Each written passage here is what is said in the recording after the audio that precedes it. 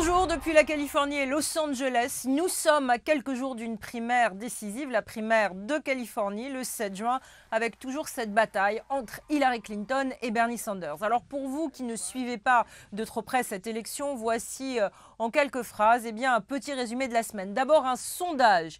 Hillary Clinton, qu'on disait il y a quelques mois être imbattable, est pratiquement à égalité avec son adversaire Bernie Sanders. Que se passera-t-il mardi prochain? Eh bien, c'est véritablement ce que tout le monde attend, voir si Hillary Clinton parvient à gagner la Californie. La Californie est un État très important symboliquement pour la candidate qui se veut représenter le Parti démocrate à l'élection présidentielle de novembre.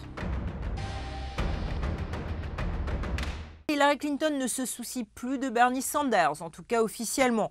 Elle ne se soucie pas non plus de l'enquête du FBI qui continue sur cette histoire dont on a parlé d'email. Non, Hillary Clinton se soucie uniquement de son adversaire républicain Donald Trump.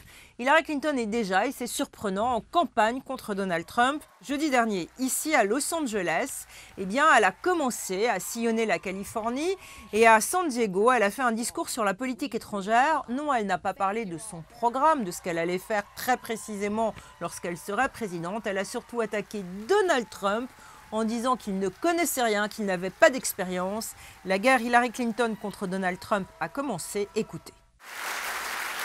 He is not just unprepared, he is temperamentally unfit to hold an office that requires knowledge, stability, and immense responsibility.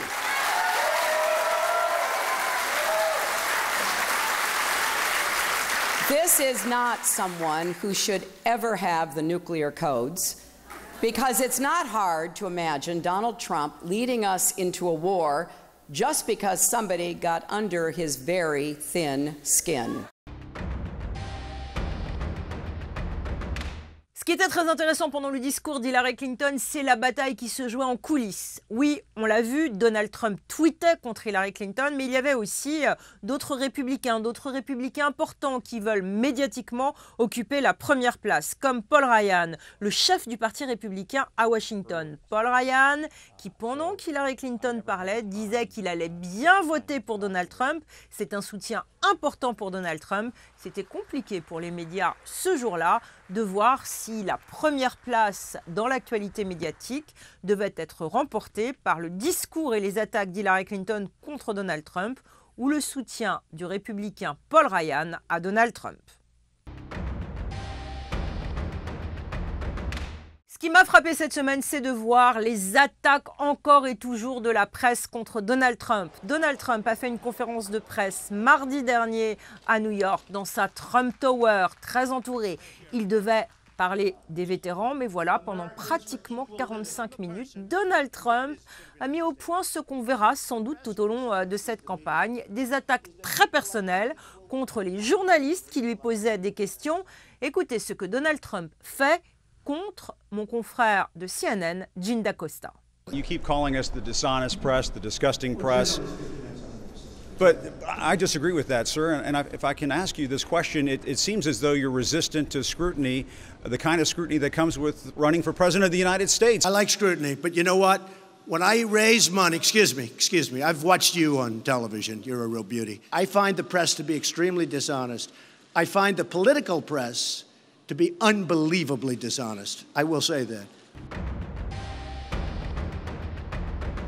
Cela fait plus de 180 jours qu'Hillary Clinton n'a pas fait une seule conférence de presse, mais voilà, pendant quelques minutes, Hillary Clinton s'est adressée à une journaliste française qui était là à San Diego, Christine O'Krent.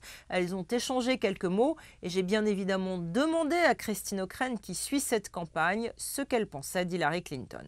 Elle a voulu en fait dresser une vision d'un vrai choix entre deux Amériques. L'Amérique de Trump, dit-elle, c'est l'Amérique qui a peur, c'est l'Amérique qui se replie, euh, l'Amérique qui euh, se voit en déclin. Et mon Amérique à moi, a dit Hilary ce matin, c'est une Amérique généreuse, une Amérique qui a confiance en elle, une Amérique qui a toujours cette idée extraordinairement puissante euh, depuis que la République a été fondée, qu'il s'agit d'un pays exceptionnel, d'une nation exceptionnelle, choisie en quelque sorte par Dieu pour mener le monde.